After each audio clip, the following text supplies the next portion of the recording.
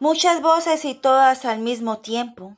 No sé cuál es la voz que tú estás escuchando para este momento, porque hay personas que están temerosas, que están confundidas, que están más preocupadas por el protocolo de qué deben usar, qué deben tener, que por una sola cosa que es la más importante de todo, orar, estar unidos orando. Y no es casualidad que tú y yo estemos aquí justo en este tiempo, porque a lo largo de la historia se han vivido tiempos muy difíciles y el Señor sabía que nos necesitaba en él hoy. Y me llevaba a Jeremías 1.5. Tú y yo hemos sido elegidos para este tiempo.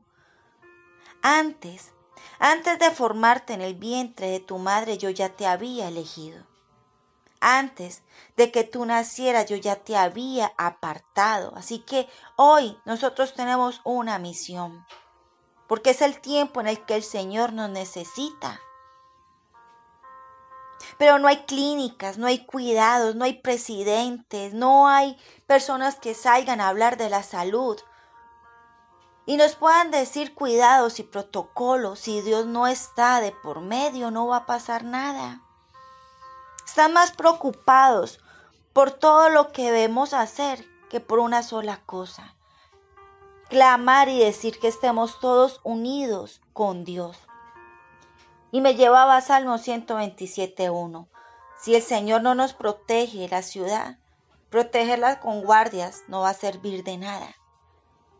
De nada vale que cada presidente alrededor del mundo esté colocando cualquier cantidad de normas para proteger su país si de por medio no va a estar Dios protegiéndonos.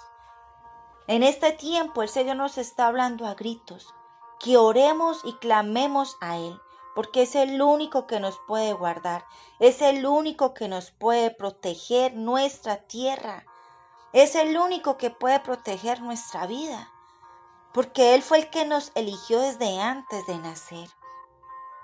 Señor, venimos delante de ti, te pedimos perdón, Señor, si nuestra mirada está más en los afanes y con tantas voces que hemos estado escuchando a lo largo de estos días.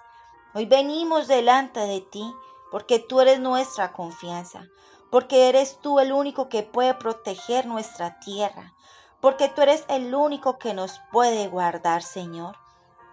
Hoy yo te pido, Padre, en el nombre de Jesús, que seas tú, Señor, tocando cada uno de los corazones, para que podamos estar unidos en oración, clamando a ti en una sola voz, Dios.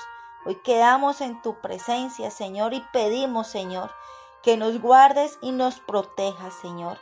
En el nombre poderoso de Jesús. Amén.